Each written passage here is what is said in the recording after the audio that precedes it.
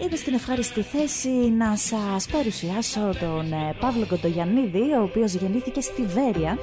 Είναι ηθοποιός ποντιακής καταγωγής με πολύχρονη θητεία στο θέατρο, την τηλεόραση αλλά και το σινεμά. Ακόμη έχει συνεργαστεί ως ραδιοφωνικός παραγωγός στην Νέρα Σπορ και στον Αντένα, ενώ ασχολείται με το τραγούδι και με την πολιτική. Έχει τιμηθεί με τρία θεατρικά και ένα κινηματογραφικό βραβείο. Επίσης είναι απόφυτο της Δραματικής Σχολής Θεσσαλονίκης της Ρούλας Πατεράκη. Καλησπέρα, Παύλο Κοντογεννίδη. Καλησπέρα. Πού τα μάθατε όλα αυτά τώρα, Ποιος τα γράφει αυτά και. Δηλαδή, ποιος με έχει προβοκάρει, ε, ότι. Ε, όποιος ενδιαφέρεται μαθαίνει, επίσης ε, είναι και το ίντερνετ που πλέον από εκεί τα μαθαίνεις όλα. Στο ίντερνετ μέσα είχαν γράψει ότι είμαι από την Έδεσα Άλλο σε ένα άλλο είχε γράψει ότι ξέρω κι εγώ είμαι 1400 ετών. Τέλος πάντων, αλλά είναι, είναι αυτά που είπες περίπου έτσι. Ε, μεγάλωσε στα παιδικά σου χρόνια, ας πούμε, τα έζησε στη Βεριά; Τα παιδικά μου χρόνια ήμουν μεταξύ, δηλαδή πέρναγα το φράγμα του Αλιάκμονα, για όσους ξέρουν από την περιοχή, ε, ήμουνα μεταξύ Βερίας και ενός χωριού το οποίο είναι προσφυγικό και λέγεται Μετόχη Μαθίας. Δηλαδή είναι δίπλα στην ε, διάσημη, ας το πούμε, Βεργίνα λόγω των αρχαιοτήτων, δύο χιλιόμετρα ε, πάει έτσι. Και είμαστε παιδιά του Αλιάκμονα, ας πούμε.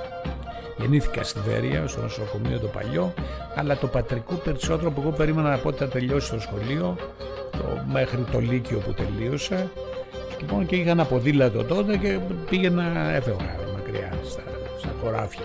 Ε, Είχες τάση φυγή δηλαδή; Δεν μου άρεσε πολύ η πόλη. Δεν μου άρεσε πολύ η πόλη. Είσαι πιο πολύ της εξοχής.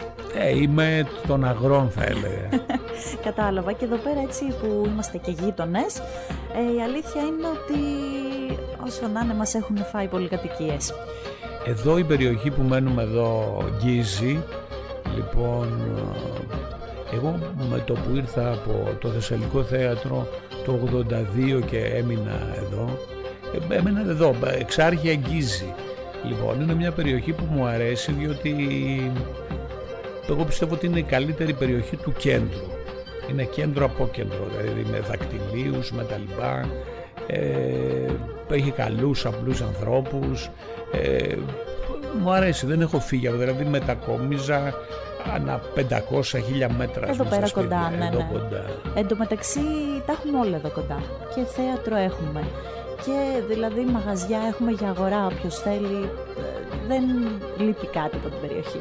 Είμαστε κοντά δηλαδή με τα πόδια. Μπορείς να κατέβεις στο κέντρο μπορείς να πας στα, στα εξάρχεια να πεις στον καφέ σου μπορείς να βγεις στην Αλεξάνδρας να πας όπου θες με το αυτοκίνητο ή το μηχανάκι Λοιπόν, αλλά βέβαια τα χρόνια που είχα έρθει εγώ με είχε εντυπωσιάσει η Αλεξάνδρας με τα θέατρά της ας πούμε, μαζί και το πεδίο του Άρεος που είχε τα δύο κυποθέατρα μέσα ε, βέβαια τώρα είναι μια μίζερη εικόνα την Τώρα έχουν κλείσει, έχουν κλείσει όλα. Τότε που είχα έρθει εγώ το 82 ας πούμε το βράδυ ειδικά όταν ανάβαν τα φώτα των θεάτρων εκεί οι, οι Μαρκίζες τρελάθηκα, τρελαινόμουν και λέω εδώ θα μείνω γιατί υποτίθεται ότι αυτή τη δουλειά την αγαπούσαμε και την αγαπούσαμε πραγματικά και κλείναμε δουλειές, έχω δουλέψει όλα τα θέατρα εδώ Της περιοχής, ναι. ναι. Ε, ήθελα να σε ρωτήσω ότι ε, η ηθοποιία ήταν ε, από μικρός έτσι στα σχέδιά σου ή ήθελες να κάνεις κάτι άλλο; Βρε Δήμητρα, λοιπόν, δηλαδή όποιος ε, τότε εγώ που έμενα εκεί ας πούμε και δουλεύαμε στα χωράφια ως ε, ήλωτες θα έλεγα εγώ λοιπόν όποιος έλεγε ότι ένα παιδί προσφύγων ποντίων ταλαιπωρημένων ανθρώπων. Έχει βάλει πλάον να γίνει ηθοποιός. Θα το λέγανε καλά είσαι εκτός πραγματικότητα αφού κι εγώ ίδιος χωρίς να είμαι ξέρω κι εγώ χιλίων ετών δεν γνώριζα ότι ο ηθοποιός παίζει σε θέατρο. Τότε ήμασταν ψωνισμένοι εκεί τη δεκαετία του 70 με, με ροκ μουσική και λαϊκά ακούσματα και παράλληλα βλέπαμε πολύ κινηματογράφο, είχε κινηματογράφο και η χειμερινή και η θερινή γινόταν ο πανικός. Λοιπόν, και εγώ νόμιζα ότι εντάξει, ο ηθοποιός παίζει στον κινηματογράφο, μου άρεσε αυτό το πράγμα, με οδηγούσε σε άλλους κόσμους. Ε, και βέβαια εντάξει, τότε Έφερνα και λίγο του Μάρλο Μπράντον, με βλέπεις έτσι τώρα κουρασμένο και είχα fan club τότε, ναι. Ήταν τα παιδιά του Μάρλο. Ένα τέτοιο πράγμα. Και τώρα έχεις fan club όμως. Δηλαδή... Ε, εσύ μου το έμαθες ότι εγώ δεν τα κατέχω αυτά. Εντάξει, είμαι στο facebook γιατί και σαν πολιτικός έπρεπε να βρω έναν τρόπο επικοινωνίας διότι όπως ξέρεις ο Πρετεντέρης δεν θα μας φωνάξει ποτέ να μιλήσουμε στο πάνελ του. Α, κατάλαβα. Ε, Κατάλαβες τι γίνεται. Οπότε ε, δεν ήξερα ότι. Ναι, έχω, έχω. Δεν κάτι. Ναι, ανακαλύψαμε λοιπόν και ένα fan page του ναι. Παύλου Κοντογιαννίδη. Να σημειώσω εδώ πέρα ότι ακούμε ε, από την εκπομπή Ράδιο Αρβίλα ε, που είχε πάει καλεσμένος. Ναι. Ε, με τους ε, Ποντέιν. Ποντιέμ, το είχες ονομάσει. Κατά Μπόνιέμ είχαμε βγάλει ένα τίτλο επιτόπου με τον Κανάκι.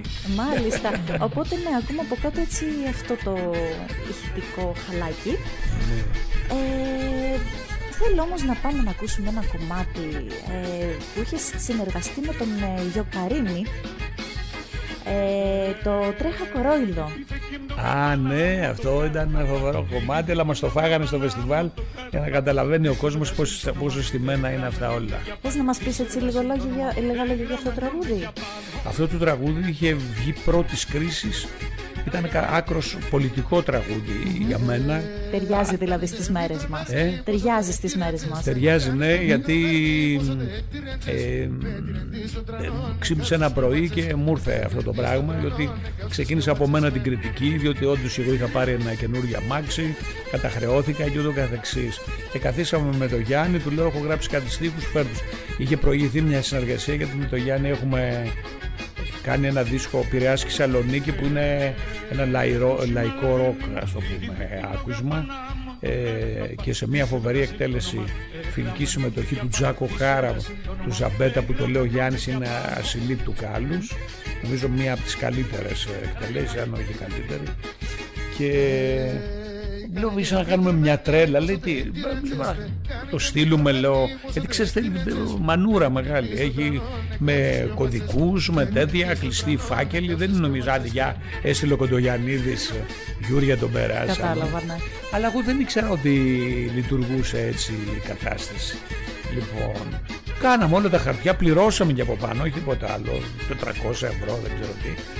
Λοιπόν, το τρέχα κορόιδο, ναι, είχε μια φοβένα, φοβερό στίχο στην κοινωνία αυτή του απολύτως τίποτα, κάψε τις κάρτες, εννοούσε τις τραπεζικές και ρίχνει στα ειδήποτα.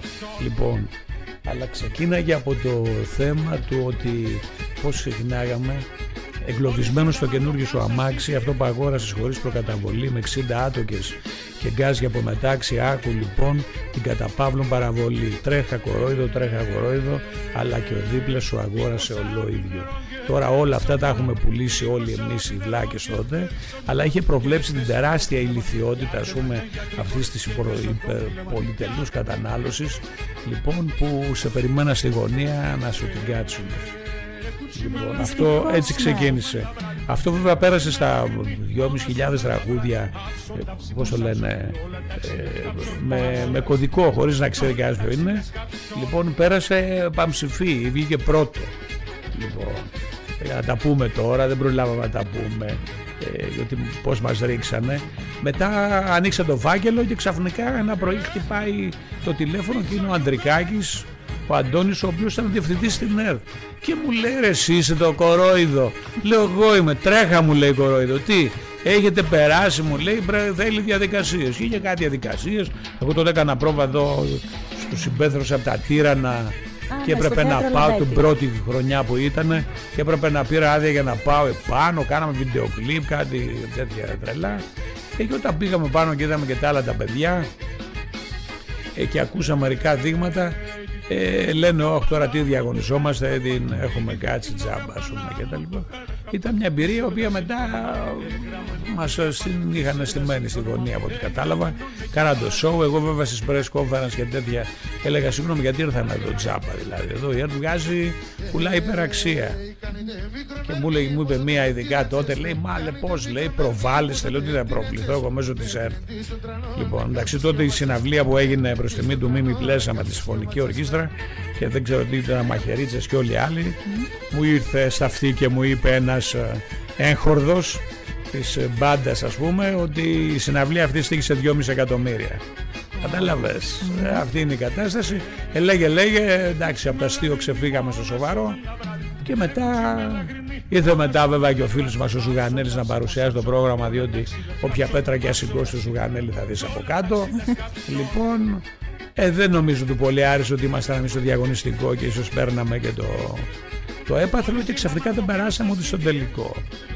Εκεί κατάλαβα ότι τα τηλεφωνήματα που πέφτουν μέσω του 45, 80, 32 είναι στημένα λοιπόν. Αυτά περί του τρέχα κορόιδο. Ακόμα τρέχουν. Και βέβαια βραβεύσε ένα καλό όμορφο παιδάκι από την Καστοριά το οποίο μέσα αυτό το πανικό ας πούμε τραγούδαγε αν δεν έρθεις αγαπημένη μου θα πάρω το, τη γάτα, το σκύλο και θα χορέψω ένα ταγκό. Άντε παιδί μου, Τόσο καλό ταγκό και στο Dancing with the Stars. λοιπόν, πάμε να ακούσουμε, μιας και είπαμε τόσο πολλά για το τρέχα κοροϊδό, πάμε να ακούσουμε τον ε, Παύλο Κοντογιαννίδη και τον ε, κύριο Γιωκαρίνη να μας λένε τρέχα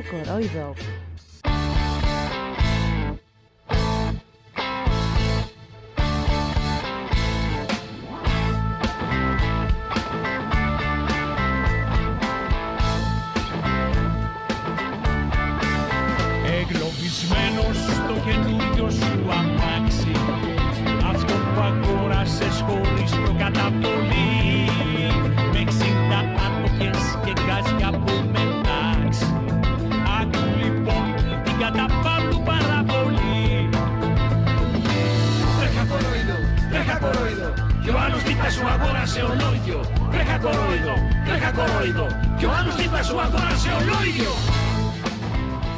www.moodradio.gr ε, Επίσης και ένα άλλο παιδικό που, είχε, που έχεις δανείσει τη φωνή σου είναι στην ταινία Τα αυτοκίνητα που έκανε στο Μπάρμπα oh, το 2011. Έχω να σου πω ότι ο γιος της φίλης μου ε, αυτή την ταινία πραγματικά την έχει αγαπήσει και έχει αγαπήσει πάρα πολύ τον Μπάρμπα. Τον Μπάρμπα θα σας πω την ιστορία γιατί και σήμερα έγραψα μια ιστορία του Μπάρμπα συνεχίζεται. Είναι ναι, υπάρχουν ζωή ιστορίες του Μπάρμπα βέβαια. Είναι ιστορίες του Μπάρμπα που προβάλλονται μέσω το, του καναλιού της Nova Walt Disney. Mm-hmm. Ε, αυτοτελείς ιστορίες και εκεί έχει ένα φοβερό τραγούδι όπου σε ένα επεισόδιο δεν το θυμάμαι ποιο είναι αυτά είναι πολύ μικρούλια επεισόδια ε, το οποίο δεν ξέρω δεν πέρασε πολύ ιδέα στον κόσμο δεν ξέρω αν το είδανε πολύ όταν το γράφαμε είναι ασύλληπτο. Δηλαδή όλα τα πιτσιρίκια όλα στα σχολεία θα τραγουδάνε το σπάστα, σπάστα, σπάστα, σπάστα. Ω, oh, χαμός φαντάζομαι. Ναι, ναι, μια ροκιά του νότου της ε, αμερικανικής στέπας. Ε, εδώ πέρα διαβάζω στο chat, καταρχάς να καλησπερίσουμε και μέσα στο chat ε, τα παιδιά που μας ακούνε, η Άντζη που είναι ραδιοφωνική παραγωγός εδώ πέρα στο Mood Radio και την ακούτε κάθε πέμπτη ε, 8 με 10 στην εκπομπή της μουσικές αναχωρήσεις, τον Νίκο ή αλλιώς Κίουι από τη Θεσσαλονίκη, ε, τον ε, Γιώργο από την Πετρούπολη, τον Κώστα από τη Δάφνη, τη Ζωούλα από τη Λαμία. Ε, Έχεις κόσμο βλέπω πολλά εδώ. Πολλά παιδιά και μάλιστα ο Νίκος ε, από τη Θεσσαλονίκη μου λέει ε, για αυτή την ε, φίλη του που έχει δίπλα του ε, μου λέει μπορεί ο κύριος Παύλος να μας πει το «Η μάνα εν κρύο νερό». Δεν εκτελούμε παραγγελίες διότι είμαστε χωρίς μπάντα. Οπότε ναι, θα το κανονίσουμε άλλη φορά να Όταν πάμε Θεσσαλονίκη θα τα τραγουδήσουμε. Μπράβο, ορίστε λοιπόν, ε, όταν θα ανέβει η Θεσσαλονίκη έτσι. Για να, να... μας δείξει και τα. Πάτε να τους δείτε. Να τους δείτε. ανα, αναζωογονητικά κύτταρα. Ωραία, ακριβώς. Ε, τώρα να, πάω λίγο, να πάμε λίγο στο σινεμά. Πριν πάμε μάλλον... στο σινεμά να πω κάτι. Ναι, ναι, ναι. Λοιπόν, ε, Κάτι το οποίο ίσω ενδιαφέρει γιατί βλέπω που μας παρακολουθούν. Θα κάνω μια παρεμβολή. Είχαμε βρεθεί σε μια λογοτεχνική βραδιά προχθές με τον Γιάννη τον Κωνσταντζόγλου και συζητάγαμε, είμαστε φίλοι από παλιά και μου λέει ε, σε μια ιντερνετική εκπομπή και τα λοιπά και ήταν ωραία, περάσαμε πάρα πολύ καλά με την κοπελιά που κάναμε, δεν πιστεύω να ήρθε εδώ, όχι, όχι. γιατί μου είπε το εξής. Λέει τρεις ώρες μιλάγαμε, μιλάγαμε γιατί και αυτός είναι πολύ λογάς και ωραίος. Και τελικά μας παρακολουθούσαν δύο άτομα. Ο συνέτερος του, του σταθμού και μια ακροάτρια. Όταν μου το είπε, μου φάνηκε μου φάνηκε εντελώς έτσι περίεργο, αξιοπερίεργο, αλλά κάνουμε μια υπέροχη κουβέντα. Εδώ βλέπω έχουμε σπάσει το φράγμα και πάμε για... Εντάξει, εδώ πέρα πέσανε ενημερώσει, έπεσε έτσι χαμός. Να, να πούμε ότι ε, το είχα πει και προχθές στον Α εκεί στα παιδιά αυτά, τα, του μεσημεριανού που είναι. Ε, το άλλαξα με τον... Υπάρχει ένας όρος κοντογιαννίδιος που λέει η τηλεθέαση ε, έπιασε πυρίχιο, δηλαδή έπιασε και εδώ η ακρόαση κάπως έτσι. Πάμε να μείνουμε λίγο στη φρουτοπία και του Να πούμε δύο πράγματα που δεν τα ξέρει ο ναι, κόσμος, παρά να, εντάξει ας πούμε τώρα, ε, η φρουτοπία. Είχα έρθει εδώ το 82, ε, τότε κατεβήκαμε με τον, για όσους δεν τα ξέρουν, ωραία αυτά παραμυθάκια, αλλά αληθινά. Κατεβήκαμε με μια φοβερή παράσταση του Θεσσαλικού Θεάτρου τα λέω κατεβήκαμε, είναι πολύ σημαντικό ε, γιατί ακολουθήσαμε μετά παράλληλους δρόμους, καθένας στον δρόμο που λέει, ε, με το Λάκη το Λαζόπουλο, την Ελένη Γερασιμίδου και τα λοιπά. Η Άννα Βαγενά ήταν από τα ευεργετικά στελέχη.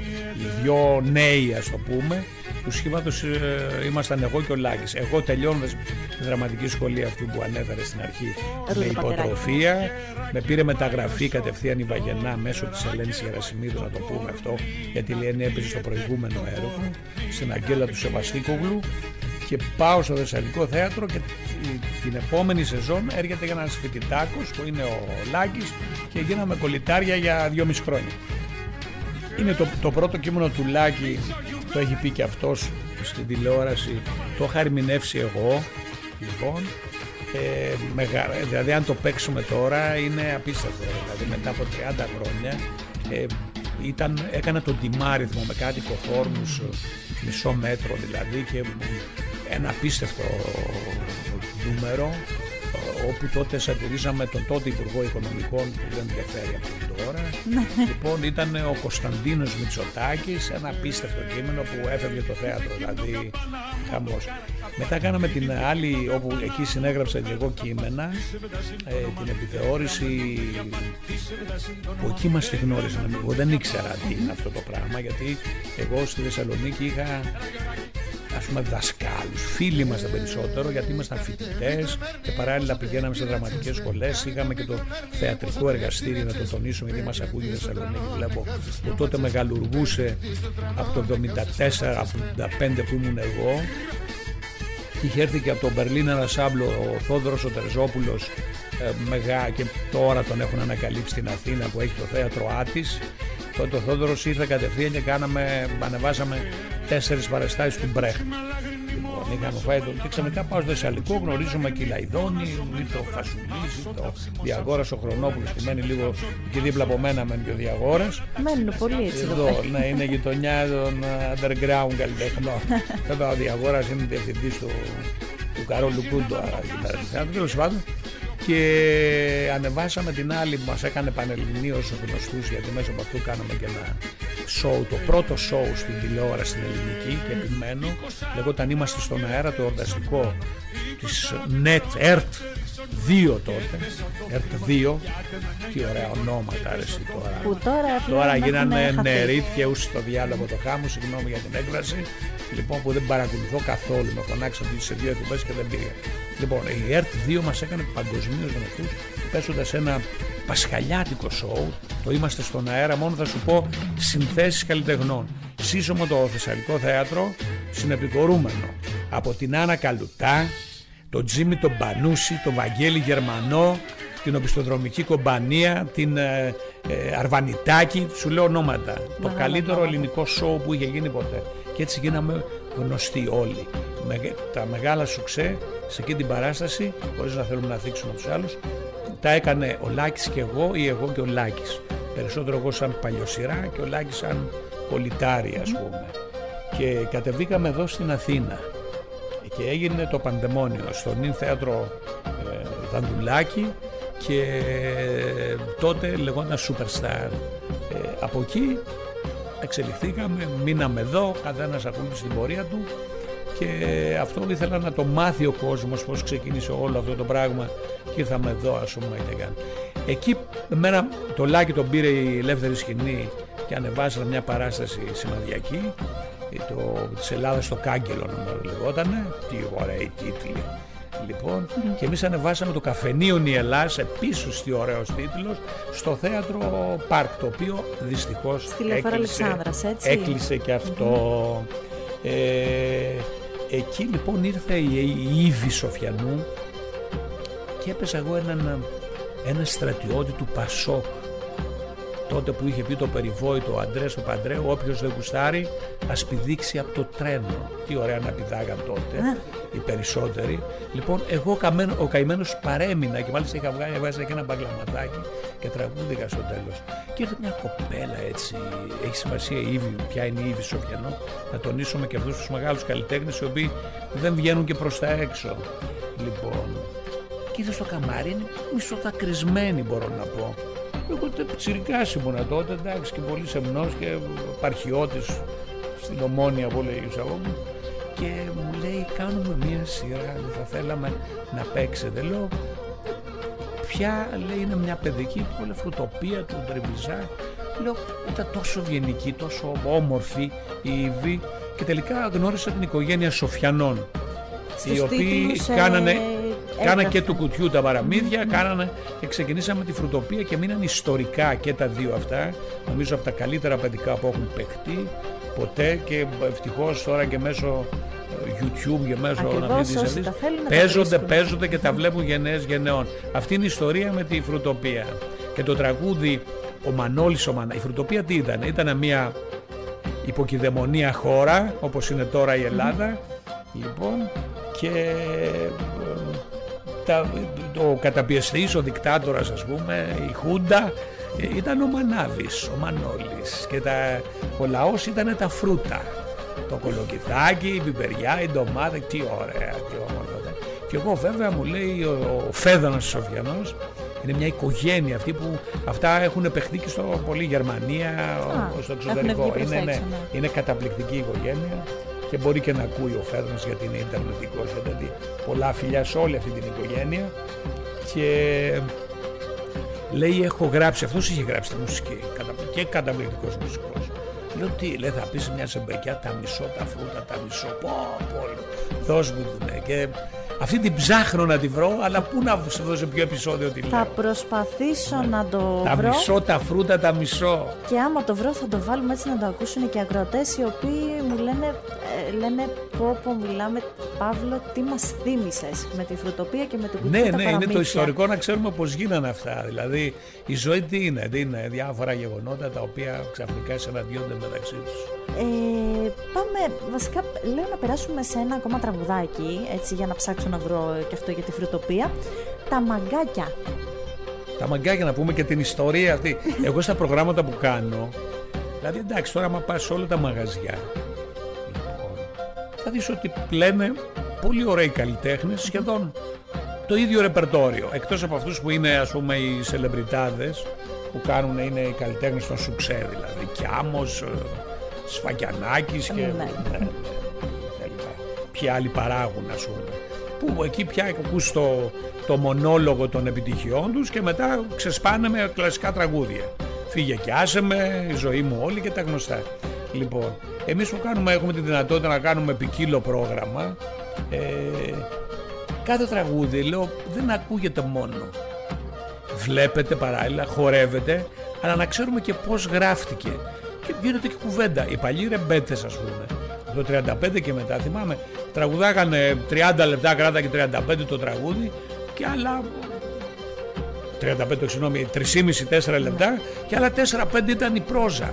Δηλαδή έβγαινε ξέρω και εγώ Χρυσαφάκης μαζί με τον Ρουμπο και έλεγε «Ρε Μίτσο, ακρίβαινε η ντομάτα, σοπάρε λέει και εγώ πήγα να πάρω ένα πακέτο τσιγάρα και αρχίσανε μπαμ, έχουν πολλά, δεν κατάλαβες τι γίνεται. Τώρα είναι φασόν και πάρτα στη μούρη Τώρα που λέμε. είναι μπαμ, κατευθείαν. Αυτό το τραγούδι λοιπόν, ε, εκεί έτσι γνωριστήκαμε τον Γιάννη Γιογκαρίν, το οποίο το ευχόμαστε περαστικά, διότι έπεσε με τον παπάκι ναι, ναι, ναι. και πέρασε άσχημα. Λοιπόν και τώρα είναι καλά διότι πήγα χθε και μάλιστα του πήγα μερικά βουλάκια, ξέρει αυτός. Mm. Του πήγα φλαμούρι, τίλιον που λέτε κι εσείς εδώ οι νότιοι ε, και διάφορα άλλα ε, για να περάσει ωραία, γίνονται καλά παίρνει τηλέφωνο ξαφνικά ο Νίκος ο, ο Δουλάμης και μέσω του Γιάννη μου λέει έχουμε μια ραντεβού στο Μοσχάτο σε μια ταβέρνα του Ζεμπερέκη, όλα έχουν σημασία που είχε δυο όμορφες κόρες μπορώ να πω και πάμε εκεί πέρα να φάμε λέει να συζητήσουμε αυτό λέω τι κάνει ο φίλος μας ο Χοντροκούκης παραμένουμε ακόμα φίλοι γιατί χθες βρεθήκαμε στο Γιάννη είμαστε εκείνοι αν δεις την αφίσα από τα μαγκάκια μας mm-hmm. οι τρεις μας. Λοιπόν και μου λέει είναι ένα τραγούδι το ένα ας πούμε.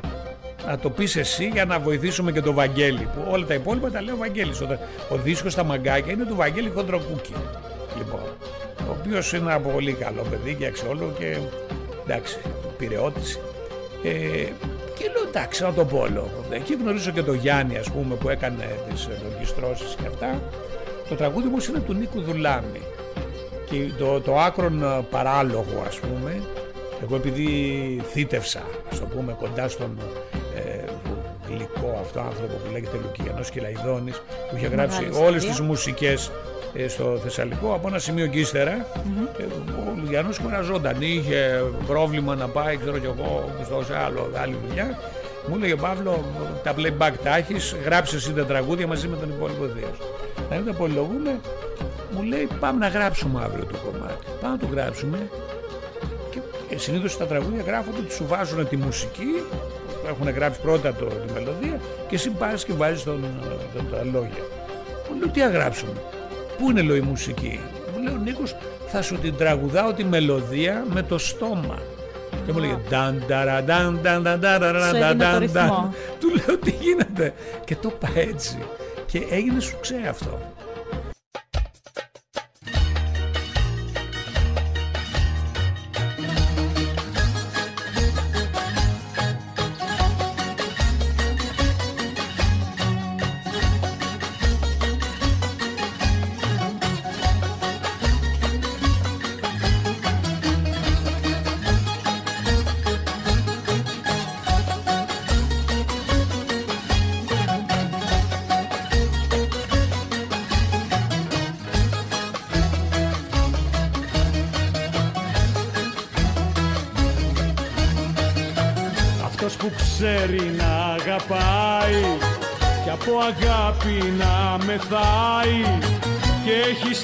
Καρδιά μεράκι είναι μαγκάκι Εδώ είμαστε, εδώ είμαστε, απλά ψάχναμε ένα τραγούδι για το οποίο θα μας μιλήσει τώρα ο Παύλος για να το ακούσουμε μετά στη συνέχεια. Για πες μας λοιπόν Παύλο για αυτό το τραγούδι. Για ποιο λες; Για το όσοι έχουν πολλά λεφτά με τον ε, Σοκράτη Μάλαμα. Α, ναι. Ε, το θέμα είναι το εξής ότι έχω γράψει ένα τραγούδι, δηλαδή στίχους το καλοκαίρι και ήθελα να βρω οπωσδήποτε το Σοκράτη, να το δώσω. Ε, δεν είχα ούτε τηλέφωνο ούτε τίποτα. Βλέπω ότι ήταν στην άνοδο. Ε, μέσω μιας κοινής φίλης, να πούμε, έρχομαι σε επαφή. Είναι πάρα, ξέρεις, εγώ είμαι ντροπαλός πάρα πολύ τι γίνεται, πώς και αυτά και τα λοιπά και μου λέει φέρε λέει τους στίχους του δεν το περίμενα γιατί είναι και λίγο απόμακρο άτομο ο Σοκράτης. Σαν και εμένα και ακόμα πιο πολύ. Και ε, συναντηθήκαμε, του το πάω του διαβάζω τους στίχους καθίσαμε εκεί πέρα στο, σε μια μπειραρία στο κουκάκι ήπιαμε και τις μπύρες μας. Και στο τέλος πάμε να φύγουμε μου λέει δεν θα μου δώσεις το τραγούδι εσύ και του το δίνω. Το τραγούδι εγώ πιστεύω ότι είναι πάρα πολύ γλυκό και όμορφο. Του άρεσε και μου είπε εκεί μέσα στις γιορτές ότι ήδη έχει σκαρώσει και τη μελωδία του. Λοιπόν, αυτό είναι πολύ σημαντικό για μένα γιατί και τον εκτιμώ αλλά και αυτά τα λόγια που έγραψα νομίζω ε, του ταιριάζουν έτσι του είπα λέω έχει τη μελαγχολία της φωνής αυτό το τραγούδι Λοιπόν και μετά συναντηθήκαμε και πήγαμε στην άνοδο αφού βάλαμε μέσω του Σοκράτη να μας κλείσει θέσεις γιατί ήταν πατής με πατώσε στις δύο εξτρά παραστάσεις και δεν ήξερα ότι εγώ θα την ε, ξεπεράσω τη δουλειά έτσι. Πάρα είχε κάτι άγριους, χαμός γινόταν πα, πα, Παναγία μου. Λοιπόν και με έκραξε κάτι στις 3,5 ώρα μου λέει έχω ένα φιλαράκι έλα Παύλο εδώ να πούμε κανένα τραγούδι και αυτά και εκείνα και από εκεί είναι. Τώρα εντάξει η ποιότητα είναι λίγο δεν ξέρω ότι υπήρχαν από κάτω το γράφανε. Ναι, βασικά. τα τσακάλια και μετά το ρίξανε στο ίντερνετ γιατί ο Σοκράτης τραγουδάει πάρα πολύ μπάσα ρε, τρεις τόνους πιο κάτω από μένα εγώ είμαι να φανταστείς ε, όχι τενόρος, σοπράνο Μέτζο με σοπράνο την- ή σοπράνο. μέτζο, μέτζο. Μέτζο. Λοιπόν, και, αλλά ε, παρα, παρα- δηλαδή μέσα από αυτό βγαίνει η διάθεση. Έτσι πρέπει να είναι τα προγράμματα. Εμένα δεν μου αρέσουν τα στημένα στη ζωή. Εδώ ήταν ένα το οποίο βέβαια θα μου πεις είχε 1500 άτομα στα, στα φίλια, αλλά με υποδεχθήκαν ε, καλά και εμένα. Αυτό το πάμε καλά. Το άλλο που είπαμε η ζωή μου όλοι, φαντάσου από φα δίεση για όσους ξέρουν από μουσική, το τραγούδισες εσύ. Ω, κατεβήκαμε στα τάρταρα, του λέω δεν πειράζει. Ήταν πάνω απ' όλα ήταν η διάθεση. Αλλά θέλω να πω το τραγούδι αυτό, επειδή προβλέπω όχι τα μέλλοντα, είναι ότι μέσα μου βράζουν συναισθήματα κάτι δισεκατομμύρια και πιστεύω ότι είχα μια επαφή, την ίδια επαφή του, την είπα την ιστορική που είχα πριν χρόνια όταν ήταν ο Σοκράτης, ήταν κιθαρίστας στον Νίκο Παπάζογλου, τον, έναν θαυμαστό άνθρωπο και καλλιτέχνη που και με αυτόν γνωριστήκαμε και γίναμε πολύ αγαπημένοι. Ε, ήταν η, η, η μόνη μουσική που έγραψε ο Νίκος ο Παπάζογλου για θεατρική παράσταση ήταν η δική μου. Λοιπόν, ε, είναι ανέκδοτα τραγούδια, τα έχω σαν, τα φυλάω σαν κόρη οφθαλμού, δεν είναι να τα βγάλουμε τώρα να αρχίσουμε να εκμεταλλευόμαστε, αλλά τις ίδιες ε, καταστάσεις αισθανθήκαμε. Αυτή περίπου που αισθάνθηκε και ο, ο Σοκράτης, για όσους δεν ξέρουν και γουστάρουν να ακούν και τέτοιες ιστορίες. Τον, για να τον παραμυθιάσω του είπα το πρώτο στιχάκι. Λέω καθόμουν μόνος μου, λέω στο αγροτικό, όχι το αυτοκίνητο, το σπίτι. Πρώτη φορά λέω έκατσα λέω στη ζωή μου 27 μέρες εντελώς μόνος. Και όπως ήμουν έτσι μέσα στη, στο άπειρο ας πούμε, διότι έτσι είναι η κατάσταση εκεί στο Βαρνάβα, μου ήρθανε κάτι στιχάκια, τα πρώτα που ήρθανε για να τον παραμυθιάσω, τα οποία λένε είπα να μείνω μόνος μου να δω τις αντοχές μου παρέα με τα σφάλματα και με τις ενοχές μου Βαδίζω Φοβερός δρόμο... στίχος. Ωραίο. Είναι ωραίο. Βαδίζω δρόμους άγνωστους και όχι περπατημένους. Μέσα από γέλνες σιωπές σε έναν κόσμο από σκιές με όλους τους κολλασμένους. Και το ρεφρέν είναι «Κι ήρθες εσύ», η άγνωστη αγαπημένη δηλαδή, «Κι ήρθες εσύ με μάγεψες, από το μηδέν με μάζεψες. Πετάω πάλι σε κενά, μαζί σου και στο πουθενά». Ο τίτλος είναι «Μαζί σου και στο πουθενά» και ο Σόκρατες μου είπε ότι έχει βρει τη μελωδία και το δουλεύει. Προχώρα καλλιτέχνη. Οπότε έχουν δίκιο που λένε ότι πολλές φορές έτσι τα τραγούδια είναι βγαλμένα από τη ζωή. Δηλαδή Ναι, τα, ναι, ναι. τα αισθάνεσαι, αυτά που αισθάνεσαι, τα βάζεις σε στίχους και έτσι γίνονται τραγούδια. Ε, δεν βγαίνεις όπως βάζεις το τό στην τοστιέρα. Θέλει άλλη διαδικασία. Και να πω λίγο εδώ πέρα στο chat ε, λίγες καλησπέρες στον ε, Δημήτρη Τεκτονίδη, ο οποίος λέει ε, «Γεια σου πατρίδα, δεν φτάς». Δεν φτάσει. Πολύ σωστά γιατί το λέει σωστά. Εγώ Μερικοί ξέρω- νεοπόντιοι το λένε ντο φτάς. Α. Ντο είναι νότα. Ή ντο. Εγώ ξέρω Ντο, το ρε, μη. άλλο, το «Να αλελεύωσαι» Ωραίο και αυτό. ή το Τι ωραίο. «Νομίζω». Έτσι ξέρω λίγα Τι είναι, πράγματα. ξέρεις τι είναι το Το- αναλύω. Ε, να σε χαρώ. Μπράβο. Και το νομίζω είναι σκέφτομαι, έτσι. Σκέφτομαι. Από το νου. Ναι, ακριβώς. Αρχαία. Ε, Αυτά είναι τα αρχαία. Απαντούμε στον Σφαγιανάκη τώρα καταλάβεις. Τα, τα, τα καλύτερα παίζουν μόνο εδώ. www.moodradio.gr